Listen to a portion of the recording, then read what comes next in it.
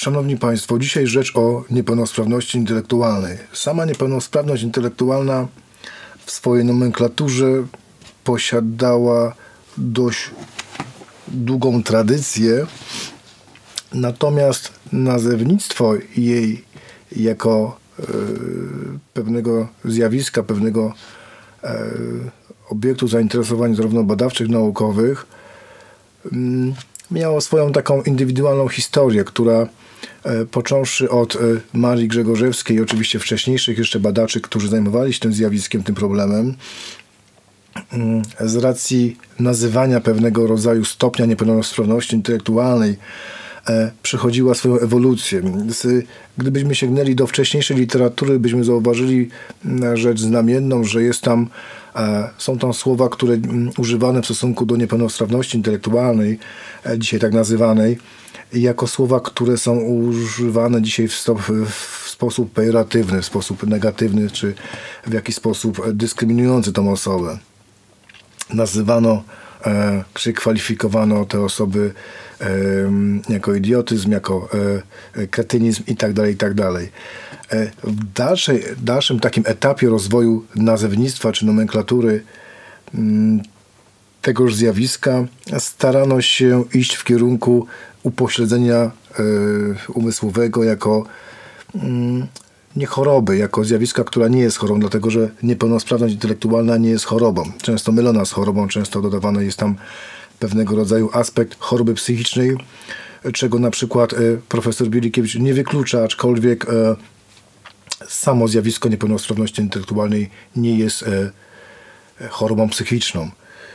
Mm, może współwystępować y, choroba psychiczna wraz z niepełnosprawnością intelektualną, aczkolwiek nie jest to jakimś szczególnym wyznacznikiem. E, są pewne determinanty, które warunkują, umożliwiają takowe zjawiska, natomiast nie jest to ostatecznym wynikiem tego stanu. E, poprzez negatywne, pejoratywne przechodzenie z nazywania osób, które e, w takowym stanie istnieją czy funkcjonują, E, przeszliśmy do właśnie upośledzenia umysłowego, które również dzisiaj współcześnie w, w edukacji osób niepełnosprawnych intelektualnie jest e, rugowane lub jest to próba unikania tego typu nazywania z powodów też również pejoratywnych, czy w jakiś sposób dyskryminujących, czy e, nie do końca poprawnie E, odzwierciedlanych e, stanów e, tejże jednostki. Dzisiaj, drodzy Państwo, korzysta się przede wszystkim z nazewnictwa, jeżeli chodzi o um, ten fakt globalnego obniżenia sprawności intelektualnej. Skorzysta się przede wszystkim z nazwy niepełnosprawność intelektualna. Podejrzewam, że będziemy szli jeszcze bardziej w stronę takiego obniżenia tego wydźwięku pejoratywnego, który w jakiś sposób nie będzie mógł, w jakiś sposób będzie mógł raczej e, pokazywać e, te pozytywne aspekty funkcjonowania osób niepełnosprawnych intelektualnie. Szanowni Państwo, niepełnosprawność intelektualna nie jest chorobą psychiczną, nie jest chorobą w ogóle tak naprawdę, dlatego że jest wynikiem przede wszystkim różnego rodzaju aberracji, nieprawidłowości, które się działy e, w toku rozwoju człowieka na przestrzeni jego życia.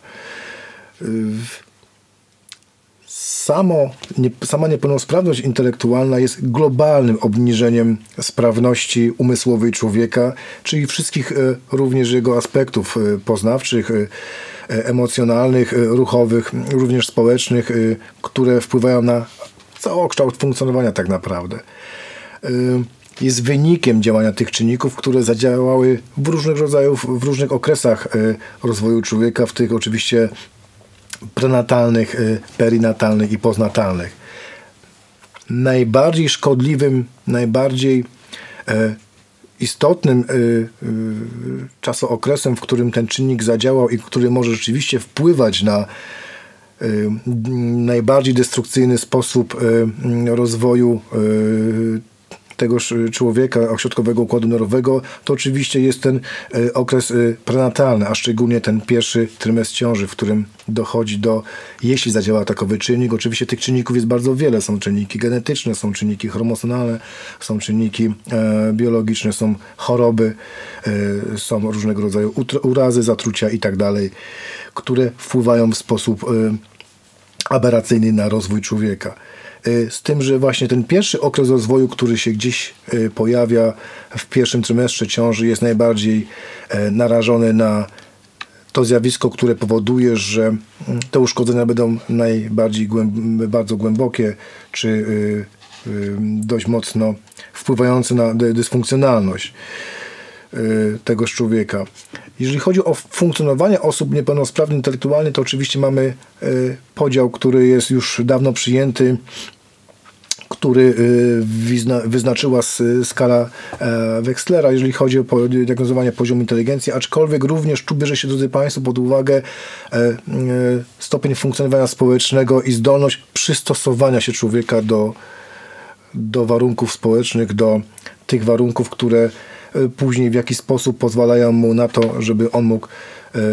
lżej lub mm, trudniej funkcjonować w szerszym środowisku otwartym.